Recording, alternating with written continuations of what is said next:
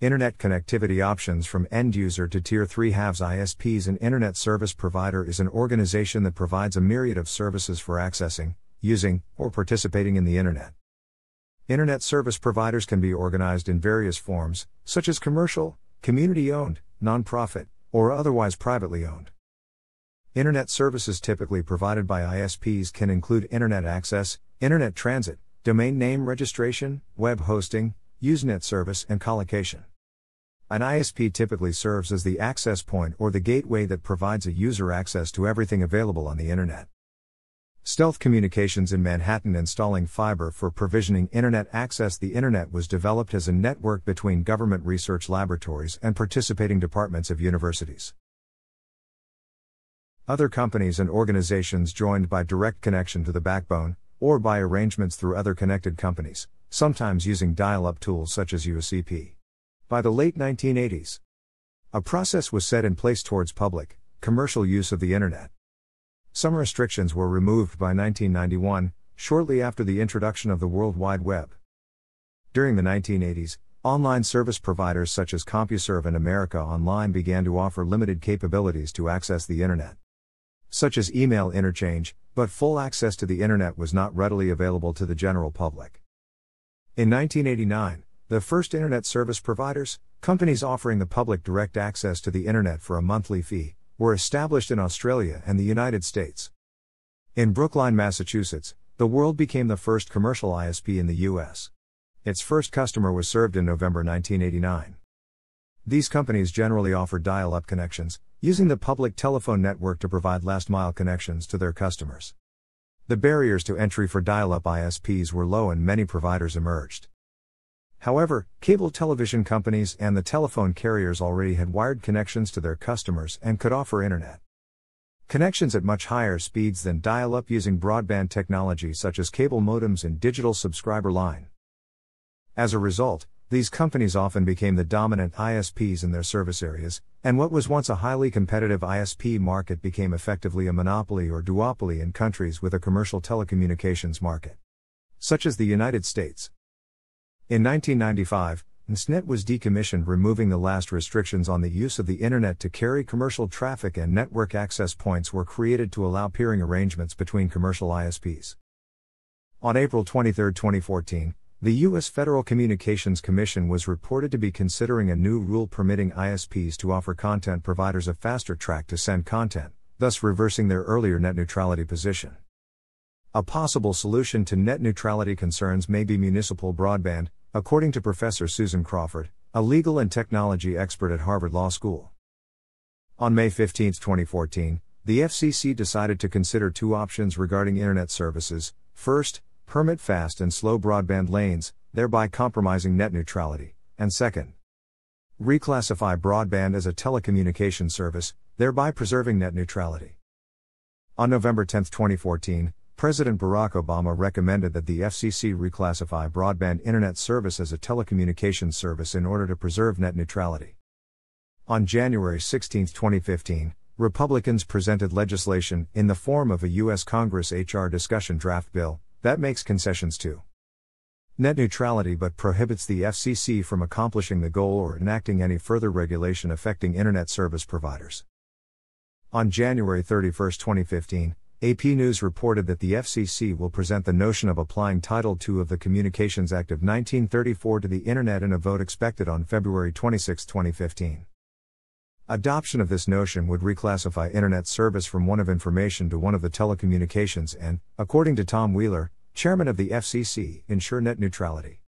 The FCC was expected to enforce net neutrality in its vote, according to the New York Times. On February 26, 2015, the FCC ruled in favor of net neutrality by adopting Title II of the Communications Act of 1934 and Section 706 in the Telecommunications Act of 1996 to the Internet. The FCC chairman, Tom Wheeler, commented This is no more a plan to regulate the Internet than the First Amendment is a plan to regulate free speech. They both stand for the same concept. On March 12, 2015, the FCC released the specific details of the net neutrality rules. On April 13, 2015, the FCC published the final rule on its new net neutrality regulations. These rules went into effect on June 12, 2015. Upon becoming FCC chairman in April 2017, Ajit Pai proposed an end to net neutrality, awaiting votes from the Commission.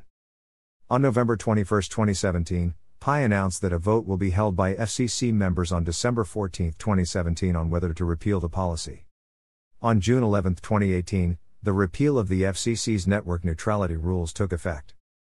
Most ISPs offer discounts to low income families, with internet service available for as little as $10 a month. Eligibility for these programs usually requires documentation of enrollment in a government assistance program such as the Supplemental Nutrition Assistance Program. Access provider ISPs provide internet access, employing a range of technologies to connect users to their network. Available technologies have ranged from computer modems with acoustic couplers to telephone lines, to television cable, Wi Fi, and fiber optics. For users and small businesses, traditional options include copper wires to provide dial up, DSL, typically asymmetric digital subscriber line, cable modem, or integrated services digital network. Using fiber optics to end users is called fiber to the home or similar names. Customers with more demanding requirements can use higher speed DSL. Ethernet, Metropolitan Ethernet, Gigabit Ethernet, Frame Relay, ISDN Primary Rate Interface, ATM, and Synchronous Optical Networking. Wireless access is another option, including cellular and satellite internet access. A mailbox provider is an organization that provides services for hosting electronic mail domains with access to storage for mailboxes. It provides email servers to send, receive, accept, and store email for end users or other organizations. Many mailbox providers are also access providers, while others are not. The definition given in RFC 6650 covers email hosting services, as well as the relevant department of companies, universities, organizations, groups, and individuals that manage their mail servers themselves. The task is typically accomplished by implementing simple mail transfer protocol and possibly providing access to messages through Internet Message Access Protocol, the Post Office Protocol, webmail, or a proprietary protocol. Internet hosting services provide email, web hosting, or online storage services. Other services include virtual server, cloud services, or physical server operation. Tiers 1 and 2 ISP interconnections, just as their customers pay them for Internet access, ISPs themselves pay upstream ISPs for Internet access.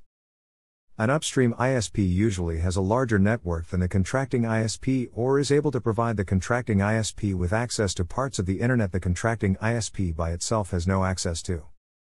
In the simplest case, a single connection is established to an upstream ISP and is used to transmit data to or from areas of the Internet beyond the home network. This mode of interconnection is often cascaded multiple times until reaching a Tier 1 carrier. In reality, the situation is often more complex. ISPs with more than one point of presence may have separate connections to an upstream ISP at multiple POPs, or they may be customers of multiple upstream ISPs and may have connections to each one of them at one or more point of presence. Transit ISPs provide large amounts of bandwidth for connecting hosting ISPs and access ISPs. A virtual ISP is an operation that purchases services from another ISP, sometimes called a wholesale ISP in this context, which allow the VISP customers to access the Internet using Services and infrastructure owned and operated by the wholesale ISP.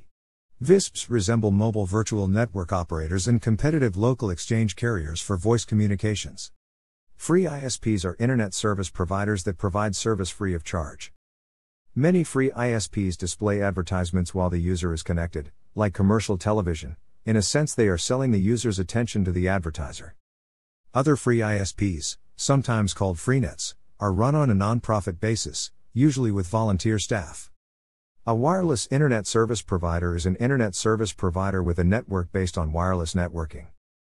Technology may include commonplace Wi Fi wireless mesh networking, or proprietary equipment designed to operate over open 900 MHz, 2. 4 GHz, 4. 9, 5. 2, 5. 4, 5. 7, and 5. 8 GHz bands or licensed frequencies such as 2. 5 GHz, 3. 65 GHz and in the UHF band and LMDS.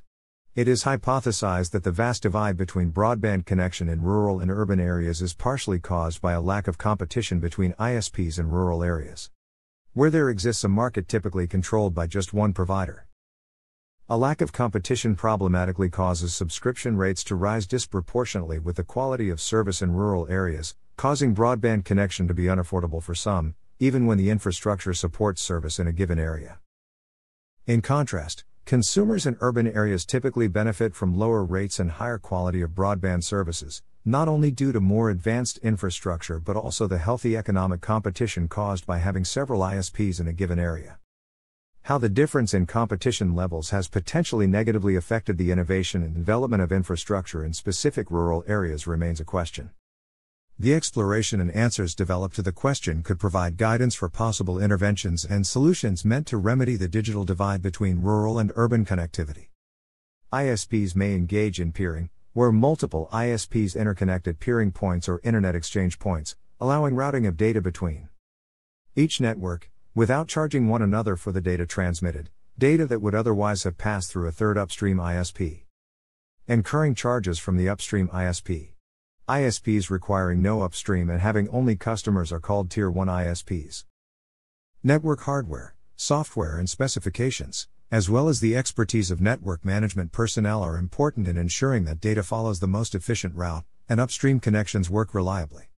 A trade off between cost and efficiency is possible. Internet service providers in many countries are legally required in the US to allow law enforcement agencies to monitor some or all of the information transmitted by the ISP or even store the browsing history of users to allow government access if needed. Furthermore, in some countries, ISPs are subject to monitoring by intelligence agencies. In the US, a controversial national security agency program known as PRISM provides for broad monitoring of Internet users' traffic and has raised concerns about potential violation of the privacy protections in the Fourth Amendment to the United States Constitution. Modern ISPs integrate a wide array of surveillance and packet sniffing equipment into their networks, which then feeds the data to law enforcement slash intelligence. Networks allowing monitoring of internet traffic in real time. Thanks for watching.